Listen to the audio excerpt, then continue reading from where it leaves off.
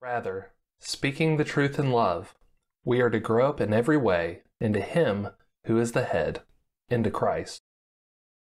A man was riding a, uh, a train through a countryside, uh, and as he looked out the window, he noticed that there was a bullseye on the side of a barn with an arrow dead center in the bullseye. And as he continued riding this train through the countryside, he noticed another bullseye. This time it was on a fence post and it had another arrow dead center of the bullseye. And the bullseyes began to, began to be more and more prevalent as, as he continued to journey on. And he was seeing them everywhere on trees, on, on more barns, on, on the side of a house, even, all with arrows dead center of the bullseye. The man uh, noticing this mentioned to the man sitting next to him, he said, Man, you have an incredible archer in this town.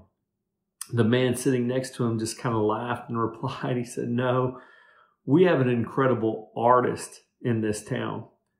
You see, this, this artist was doing a public art project where he would fire arrows around the countryside totally indiscriminately. And once the arrow would land, he would then paint a bullseye around it. The end result looked pretty, but there was no aim, there was no purpose, there was no direction. Progress doesn't always look pretty. Learning to hit bullseyes involves a lot of misses. It involves a lot of them being bad misses. But the more we try, the more we miss, the better we're going to get.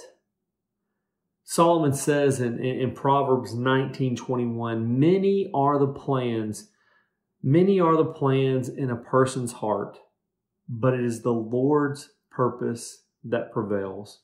That seems about right, doesn't it?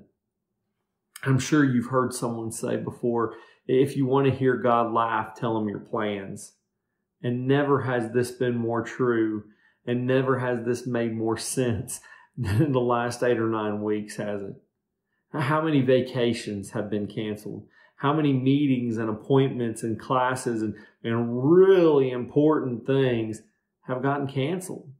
How many times has God showed us that our important things, things that, that, that are so important and can't be missed, can become not important really, really fast?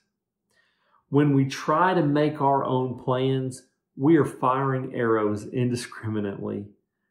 Solomon says it is only the Lord's purpose that prevails. And you know what? That gives me a lot of confidence to know that the Lord's purpose will prevail. That, that in, in the midst of all these failings, of all these misses on the bullseye that, that, that I'm trying to do, God's purpose is still going to prevail no matter how good of an archer I am. Jesus tells the Pharisees in Luke 19, verse 40, that if everyone stopped proclaiming him to be the Messiah, that the rocks would cry out. His purpose will prevail, and it will always prevail, even if it's the rocks that have to fulfill his purpose. There's a purpose for us. There's a purpose for all of us, a goal, a goal to hit that target uh, dead on. And it's going to take misses, and it's going to take a lot of misses, and it's going to take struggles. But God has a plan for us to succeed spiritually. We are told as much in, in Jeremiah 29, verse 11, where, where, it says, For I know the plans uh, that I have for you, declares the Lord, plans to prosper you and not harm you and plans to give you hope and a future. God has great plans for us, plans that aren't indiscriminate, plans that are very specific for us. 1 Peter 2, verse 9 says, You are a chosen people, a royal priesthood, a holy nation, God's special possession, that you may declare the praises of Him who called you out of darkness and into his wonderful light. What a purpose. What a goal. What a bullseye for us to be aiming for. I love you. Have a great day.